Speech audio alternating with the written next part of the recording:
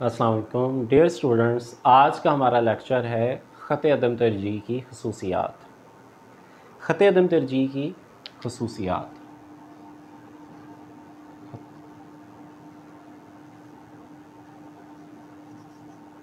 ख़त अदम तरजीह की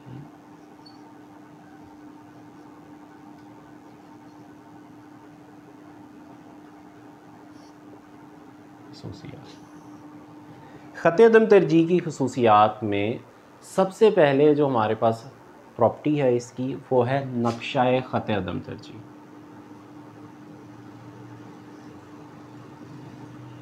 नक्शा ख़त अदम तरजीह ये इसकी फ़र्स्ट प्रॉपर्टी है।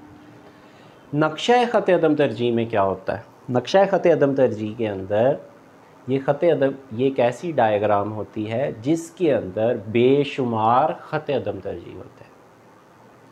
नक्श ख़त अदम तरजीह तो ये है कि ख़त, ऐसा ख़त जो दो अशिया एक्स और वाई के उन मजमुओं की वजाहत करता है जो सारफ को यकसा तस्कीन देने वाले नुकात को मिलाने से हासिल होता है। जबकि नक्शा ख़त अदम तरजीह में क्या होता है? बेशुमार ख़त अदम तरजीह होते हैं। जो तस्कीन के मुख्तलिफ़ मराहल को जो होता है वो वाज करता है। इसी को हम क्या कहते हैं? नक्शा ख़त अदम तरजीह।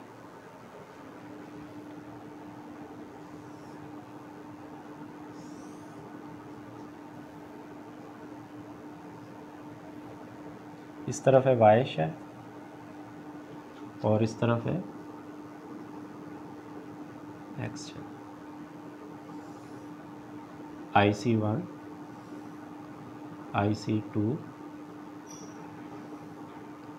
i c three जो सबसे ऊपर वाला ख़त अदम तरजीह है, वो मुझे तस्कीन की सबसे बुलंद सतह दे और जो सबसे नीचे वाला है, वो सबसे कम तस्कीन की सतह दे तो आप यहाँ पे एक 45 डिग्री की लाइन ले लें।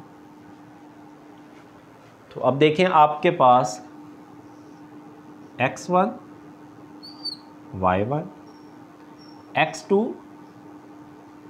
y two और ये बन गया एक्स थ्री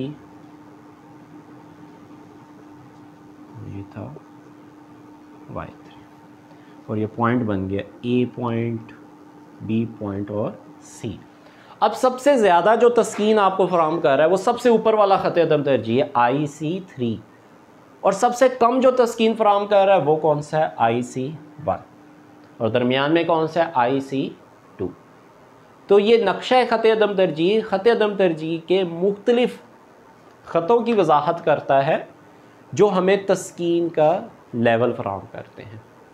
और इसमें सबसे ज़्यादा जो तस्कीन फ्राहम करता है, वो सबसे ऊपर वाला, और सबसे कम जो तस्कीन फ्राहम करता है, वो नीचे वाला होता है। उसके बाद है ख़त अदम तरजीह हमेशा बाएँ से दाएँ जानिब बाएँ से दाएँ जानिब ऊपर से नीचे गिरता है। ये ख़त अदम तरजीह की प्रॉपर्टी है। सेकेंड प्रॉपर्टी क्या है? फ़र्स्ट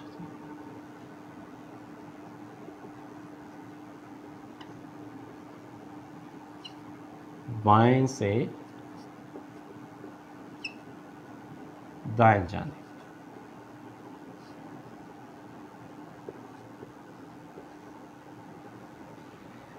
ये इसकी सेकंड प्रॉपर्टी है। कि ख़त अदम तरजीह हमेशा बाएँ से दाएँ जानी नीचे की तरफ़ गिरता है। ये राइट पॉइंट है इसका।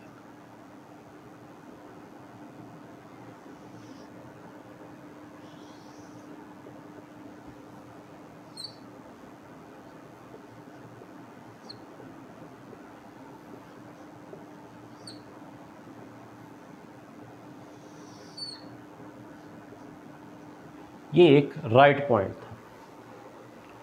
इस ख़त के अंदर जितने आपके पास पॉइंट बने हैं जिनकी मदद से ख़त अदम तरजीह बना है, वो सारे के सारे तस्कीन का जो लेवल आपको फ्राहम कर रहे हैं, वो एक जैसा फ्राहम कर रहे थे।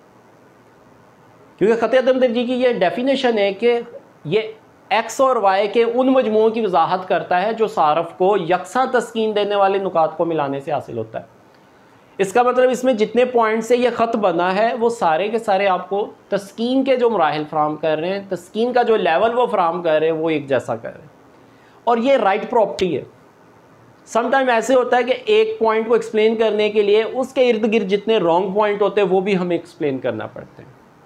तो सेम ख़त अदम जी की प्रॉपर्टीज़ के अंदर भी ऐसे ही है। एक राइट पॉइंट एक्सप्लेन करने के लिए, इसके साथ कुछ जो रॉन्ग पॉइंट भी जो होंगे, वो भी आपको डिस्कस करने पड़ेंगे। तो सबसे पहले पॉइंट है ख़त अदम तरजीह। बाएँ से दाएँ जानब तो गिरता है। अगर ये ख़त अदम तरजीह बाएँ से दाएँ जानब उफ़की फार्म में हो। इसी सेकंड प्रॉपर्टी का हम कहते हैं, ये ए पॉइंट है। इधर ले लेते हैं इसका। ए पॉइंट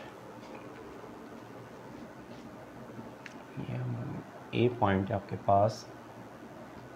उफ़की, अगर ख़त दम तरजीह क्या हो आपका? उफ़की हालत में हो। अब उफ़की हालत में कैसा होगा ये?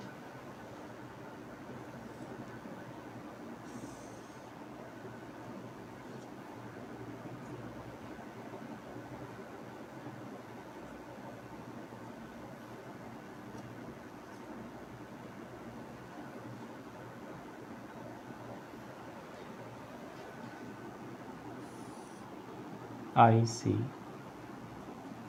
ठीक है? और इसके ऊपर पॉइंट ले। X one x two x three और ये क्या है? वाई अब हमारे पास ये तीन पेयर से बना है। वाई और एक्स वन से ये ए पेयर हो गया। वाई और एक्स टू से ये बी पेयर हो गया। वाई और एक्स थ्री से ये क्या है आपके पास? सी पेयर इसका मतलब है जो सबसे ज़्यादा मुझे कमोडिटी प्रोवाइड कर रहा है वो कौन सा है? सी पेयर तो हम कह सकते हैं कि सी ग्रेटर देन है बी और बी जो है वो ग्रेटर देन क्या है? ए जबकि ख़त अदम दर्जी के अंदर हमारे पास जो पॉइंट बने थे, वो सारे के सारे आपको जो तस्कीन के जो मराहल फ्राहम कर रहे हैं, वो यकसा कर रहे थे ये था, अगर आपके पास ख़त अदम तरजीह जो है वो उफ़ की हालत में हो जाए। और अगर यही ख़त अदम तरजीह आपके पास अमूदी हालत में हो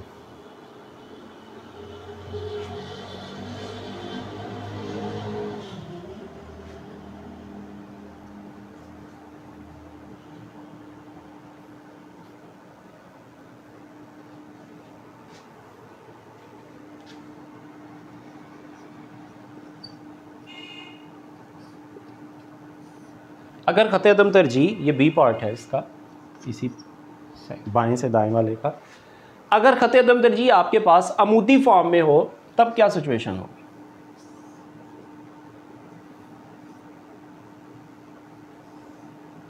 ये इंडिफरेंस कर रहा है। अमूदी फॉर्म है, ये एक्स है, और ये क्या है? वाइश है। A pair b pair c pair y one y two y three तो ये ए पॉइंट ये बी पॉइंट और ये सी पॉइंट अब इसके अंदर जो है वो तस्कीन का जो है वो लेवल आप चेक कर ले. ए कम बी उससे ज़्यादा और सी उससे ज़्यादा. इसका मतलब इसके अंदर भी सी पेयर सबसे ज़्यादा, उससे कम बी और उससे कम ए तो इसका मतलब ये भी आपके पास ख़त अदम तरजीह. नहीं है एग्जैक्ट उसकी वजह ख़त दम तरजीह के अंदर तमाम के जो तस्कीन के जो लेवल होते हैं, वो आपस में बराबर होते हैं। और उसके बाद है सी पॉइंट है आपके पास, अगर ख़त दम तरजीह बाएँ से दाएँ जानब गिरने की बजाय बाएँ से दाएँ जानब चढ़ जाए, ऊपर की तरफ़ अगर आ जाए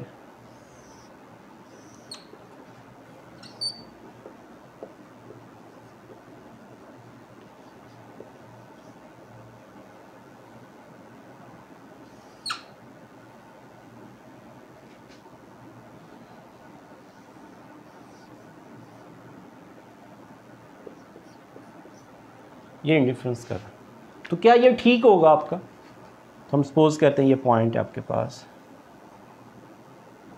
X one y one x two y two x three और वाई थ्री ए पॉइंट तो यहाँ पर भी क्या होगा? सबसे ज़्यादा जो मुझे कमोडिटी प्रोवाइड कर रहा है वो बी सी पॉइंट कर रहा है। ए उससे कम बी उससे कम और सी यानी कि ए के मुकाबले में बी ज़्यादा तस्कीन दे रहा बी के मुकाबले में सी ज़्यादा तस्कीन दे रहा। ए पॉइंट मुझे कम बी ए के मुकाबले में ज़्यादा कमोडिटी प्रोवाइड कर रहा है, और जो सी है वो बी के मुकाबले में ज़्यादा कमोडिटी प्रोवाइड कर रहा है। तो इसका मतलब मेरा तो फेवरेबल सी हो गया। तो यहाँ पर भी आप कह सकते हैं कि कंडीशन कौन सी बनेगी? सी ग्रेटर देन है बी और बी ग्रेटर दैन क्या है? ए जबकि ख़त अदम तरजीह के अंदर क्या होता है? इन सभी के तस्कीन का जो लेवल होता है वो यकसा होता है।